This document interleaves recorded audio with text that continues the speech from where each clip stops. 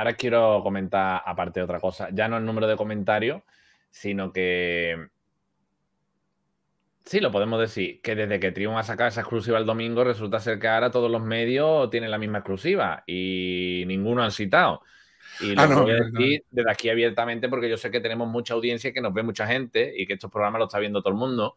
Eh, a mí, cada vez que me contactan todos los medios, ¿vale? Eh, por teléfono, por WhatsApp, email, yo siempre digo lo mismo. Podéis utilizar lo que queráis. Podéis utilizar de Telesalseo y de mis canales lo que queráis. Pero por lo menos citad la fuente, siempre, ¿vale? Por ejemplo, los programas con Triun, si Triun está dando una información, por lo menos citarle a él. O cuando Marina da una exclusiva, lo mismo, tío, han cogido exclusiva, que yo no es por Telesalseo, que a mí me da igual, que yo tengo mi público, que yo tengo mi audiencia y que no me vais a quitar nada. Pero hombre, que a mí no me importa, que cojáis lo que queráis, faltaría más si yo cojo un montón de cosas de la tele. Acabamos de estar viendo ahora mismo también un trozo de la tele. Eh, pero hombre, es que ha sido sacar Triumph eso el domingo, que es una exclusiva que le han dado a él, que la familia ya ha dejado clara solamente que habla con él y que ahora de repente resulta ser que hay un montón de, de prensa digital y de medios que tienen la misma exclusiva y no es verdad. Entonces, Yo, nosotros- A mí me la dieron, yo la publiqué el domingo a las doce y media del mediodía, todo lo que se ha dicho. Del domingo a las doce y media del mediodía para adelante, ha tenido que salir lo que yo dije, más claro que el agua. Porque fue el único que, que habló no- del tema. Es que, es que además que fue el domingo, yo. Es que hasta yo me entero el domingo por ti, porque tú sabías que esta semana íbamos a tener algo y que ibas a dar algunas ¿no? exclusivas. Y yo te lo conté y te dije, no digas nada, que tú sabías lo que iba a contar. Yo te lo conté. sí, pero algunas cosas yo no las sabía el sábado. Todo no, porque era muy largo, tío, esto por teléfono. Claro, Pero yo te dije, te digo, escucha, me tengo que dar este comunicado, o sea, que confío en ti de sobra, fíjate que te lo conté a ti y yo sabía que tú no ibas a decir nada, que tú lo sabías. sí, pero que yo la mayoría de cosas me enteré por el vídeo. Sí, bueno, pues sí, está con muchas cosas que no sé, es que tampoco sé, es que yo también había cosas que no sabía, ¿eh? O sea, que- Y ahora, me, y ahora me veo la misma información en el- y ahora me veo la misma información en el, en el, en el- en- no, voy a dar, no voy a dar nombre, pero en varios medios de comunicación digitales y en periódicos imprimidos y en tele se ha dado la misma información de la herencia, de lo que tenía, de lo que no tenía, de los pisos que alquilaba y no os la han dado. No os la han dado. Y lo digo muy claro, ¿eh? O sea, eh, ya no es que, que no lo digo en este caso por mí porque la información no es mía, pero que si lo está contando Triumph, si os enteráis en el canal de Triumph o que os enteráis aquí por Triumph, que lo citéis, que citéis, coño, que no pasa nada. Que no, que no pasa nada, que yo cuando cojo aquí algo de Telecinco lo pone aquí, que es de Telecinco, y que yo digo siempre, que me cojáis las imágenes que queráis. Con lo de Frank Cuesta, las veces que ha subido siempre, vez que sube Frank Cuesta se ponen a darme por culo, que cojáis lo que os dé la gana, si yo también lo voy a coger vuestro, mientras que no me deis la lata a mí, coged lo que os dé la gana. Pero coño, Ahí me llama mucha gente de para otros, no para este caso, no para este caso, para este no me llama nadie, pero que para otros temas, coño, no te decía, el otro día me llamó Lada, oye, tío, ¿no te importa que uses? Y para adelante, eh, Axel muchas veces, oye, tío, ¿no te importa? Oye, bueno, no tengo problema, sí, no tengo problema que cojan mis cosas, igual. que te hagas eco de las informaciones es normal, pero bueno, que tú sabes que lo hemos hablado, el- que las últimas horas han salido, es que han salido informaciones que son tu vídeo, en medios que son medios, entiendo que importantes en España. Y es que son informaciones que es que son el vídeo de Triumph. Y lo están vendiendo como... A ver, yo también, yo también entiendo que si un medio más grande se hace eco de mi vídeo, pero no me cita, luego la gente no ve el vídeo porque tampoco tengo tanta repercusión y eh, lo que citen es a ese medio porque entienden que a lo mejor ese medio es el que sacado la información, ¿me entiendes? O sea que eso es lógico también y comprensible. Claro. O sea, quiero decir, si los medios, un medio grande se hace eco, pero no nombra la fuente y tal, es normal, ¿no? Que los demás medios entiendan que ha salido de ese medio. Pero que además, Eso es además que se, hace, se hace con, se hace con mala leche porque ellos saben de dónde lo sacan. O sea, aquí, y es que lo- aquí todos los que venís siempre me encargo de recalcar por aquí vuestro nombre, vuestras Sí, redes, claro. vuestros canales. Siempre, siempre me. ¿Vale? Entonces, hombre, por favor. Vamos a hacer. Y aparte que es que de- entra dentro de- del código de la buena práctica, de alguna manera. Eh, que no pasa nada, ¿eh? Que no pasa nada. Simplemente. No a a me gusta- a ver, no es una cosa que me preocupe, ¿eh? o sea, ahí está el vídeo. Lo que, lo que Eh, a a ver, mí lo que me da coraje cuando llegan y te dicen, has, has dicho esto que era exclusiva y esto no lo has dado tú. Esto lo-". Mirad las horas. O sea, yo no es por decir que lo saco yo no lo saco, sino que yo cuando pongo exclusiva porque sé que lo voy a decir que soy el único que lo ha dicho. Yo nunca me pongo exclusiva en ningún lado, ¿eh? Y lo dije simplemente por eso. Entonces, pero aparte. que luego que te no- llega y te diga, es que has dicho una cosa que no es exclusiva, porque eso ya ha salido, sí, pero es que yo lo dije a las doce y media del mediodía y esto lo han sacado por la tarde. O sea, miradlo, ¿no? O sea que. Esa es la diferencia. Pero no porque lo saquen No, otra hombre, vez. es que parece que, que, a ver, que lo que quiero decir de aquí es que... Lo importante es que se transmita. Eso es importante. Sí, que lo importante es que se transmita, pero que, eh, joder, que es como, por ejemplo, ayer cuando escuché a Belén Esteban, eh, y ahora seguimos, ahora sigues contándome todo, ¿eh? Pero esta cosa la quería hacer porque ayer, por ejemplo, Belén Esteban igual.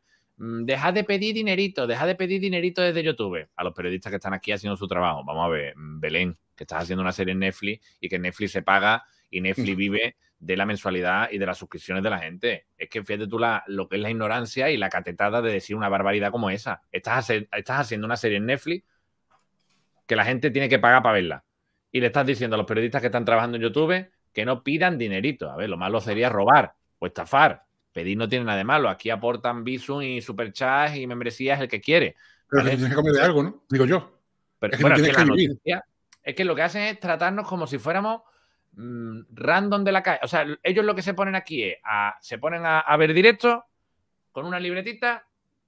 Hay algunos que sí citan, pero la mayoría lo que hacen es se ponen aquí, cogen una libretita, van sacando de aquí los datos y mañana te ve, te ve los datos que hemos dado aquí, te los ves en los programas como si, como si te hubieras enterado eh, eh, en, un vecindario o en un patio o en una plazoleta. te voy a decir una cosa. Te voy a decir una cosa otro medio, que esto es otro medio.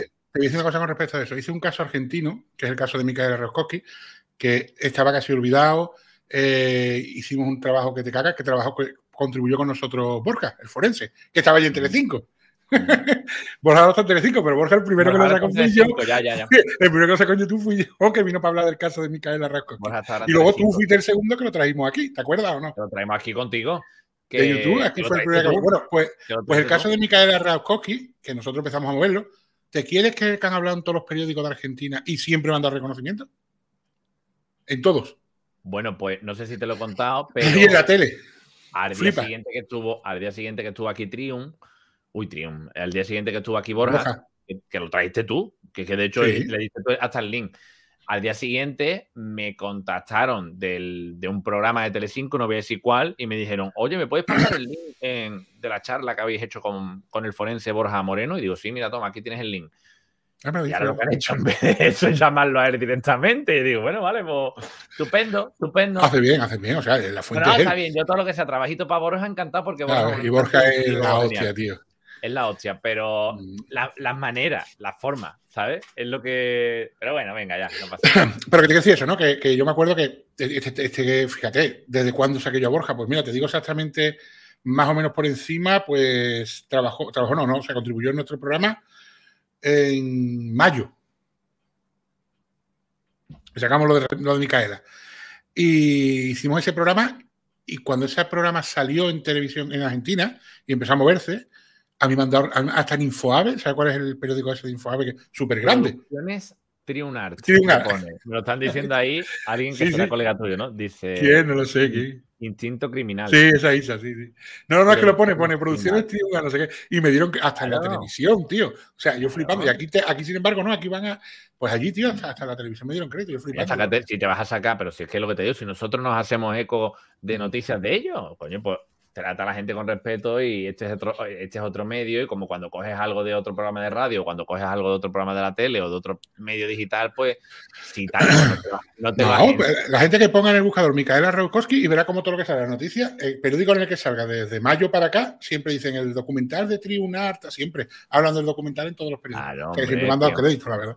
Es que es un trabajo. Vale, perdona por la interrupción. ¿eh? Sigamos, no te pues nada, eso es lo que estábamos diciendo, que él no tenía pensamiento de ir a, Tailandia, ¿no? Su pensamiento era de ir a Formentera, o por lo menos él no comunica a nadie. Esa es la imagen.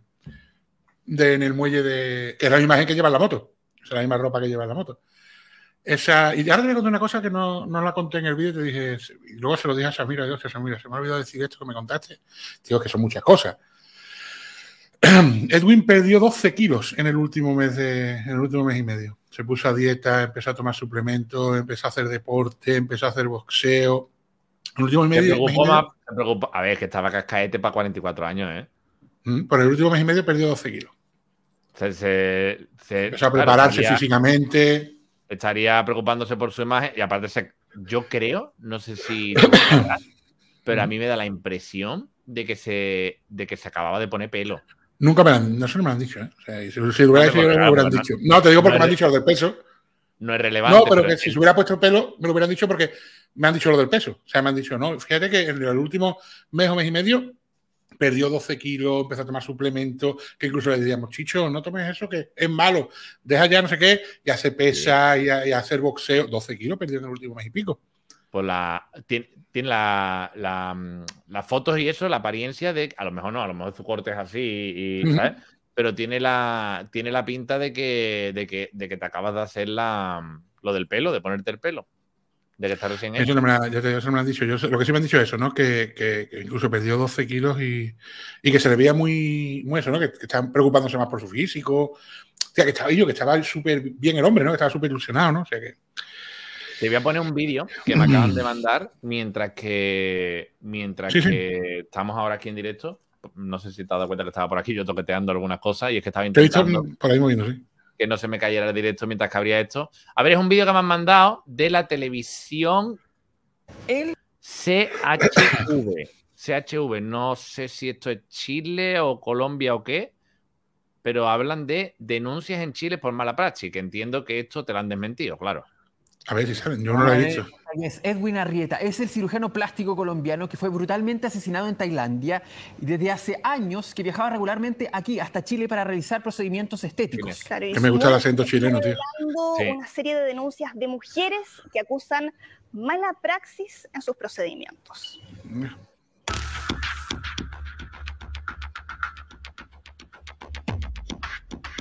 Su historia ya era noticia global. Edwin Arrieta, el cirujano plástico que fue asesinado hace unos días en Tailandia, comenzó a ser recordado por cientos de pacientes en redes sociales y Chile no fue la excepción. Sin embargo, el recuerdo de al menos seis mujeres iba enfocado en sus malas prácticas. Hola, muy buenos días. ¿Lo ¿Cómo ve? andan mis pacientes, mis chiquillas? No, pero ¿dónde está la denuncia? Acá. Ah, no, digo, digo que lo ve el vídeo, que yo a este hombre lo he visto en vídeos. Ah, sí, claro. Eh, día a día, ya próximamente voy a estar en Santiago nuevamente. Este médico, según información de la prensa internacional, se movía entre Colombia, Brasil, Argentina y Chile. Este último, un destino recurrente en el que realizaba a sus pacientes liposculturas y abdominoplastías, principalmente en Viña del Mar y Santiago. Allí tuvo un socio en una clínica que esta semana entregó un testimonio al programa español 4 al día, que dio un vuelco Vale, ya está la fuente. Venga. Pero lo que estoy diciendo, o sea, no hay A ver, denuncia. claro que- Y ahora, ahora te voy a decir otra cosa. Mira, eh, muchas veces, y esto sí es cierto, y mira, no tengo. Muchas veces hacen cirugías plásticas y ahora te hablo de un caso personal, una persona que yo conozco concretamente, y no por defender a Edwin, ni mucho menos, sino que en mi caso es que tengo un caso personal que se hizo eso, una abdominoplastia. Una abdominoplastia es que te quitan la piel de sobrante. Normalmente se suelen hacer mucho las mujeres que han parido varias veces y se le queda la piel así muy flácida. Bueno, pues esta persona que te comento se la hizo por eso. Aquí en España, en una buena clínica, pero el médico le dijo no puedes hacer esfuerzos, no puedes tomar el sol, tienes que hacer no sé qué.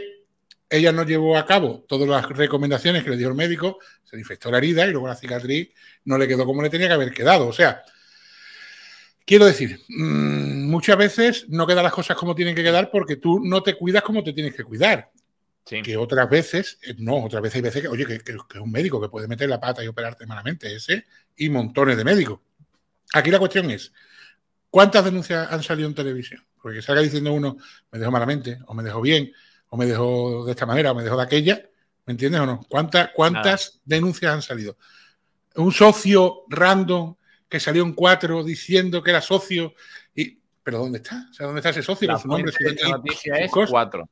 Cuatro día. está, pues bueno, cuatro fue la que dijo que tenía una tarjeta de 25.000 euros, cuatro fue la que dijo que tenía que estaba en la cárcel de Surataní y se fueron en ferry. O sea, mm, sí que sacamos todas las cosas que han sacado cuatro, ¿no? O sea que Los 80.000 pavos. eh, los 80.000 pavos. En fin, la- querían convencer a, a- porque era el mismo periodista, a, a Villoque de que había sido accidental a muerte. Le insistían, no es que accidental, no es que accidental, pero está seguro que no es accidental. Eh, que de- no he visto un caso en el que haya habido tan, tan- tanto invento de titulares, ¿eh? Y tanta, tanto de titulares. Es que ese caso no lo, he tratado, no lo he tratado yo. Pero, pero es tremendo la de titulares y la de noticias, ¿sabes? Eh, como es un caso que ha vendido mucho, pues hay que sacar, hay que sacar, hay que sacar. Pues si no lo hay, pues, pues me lo invento. A mí lo que me gustaría saber cuando la gente, porque también dicen por el chat, ¿no? Que se contradice la familia. ¿Pero en qué? O sea, ¿qué, qué, qué testimonio da la familia en la que hasta ahora se haya contradicho? Porque estáis hablando que se contradicen con las informaciones que da la prensa. ¿Me entendéis o no? Es que yo no puedo decir una persona se contradice porque cuatro ha dicho qué.